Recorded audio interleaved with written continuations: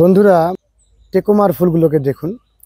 টবের মধ্যে সুন্দরভাবে করা যায় আর বারে বারে ফুল আসে।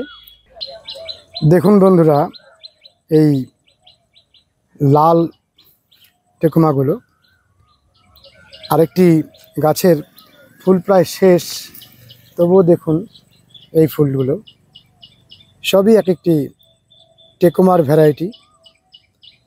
গাছগুলো কীরকম ঝাড় তৈরি হয়েছে দেখুন। খুব ঘন সবুজ রঙের পাতার মধ্যে ক্রমাগত এইভাবে ফুল আসতে থাকে।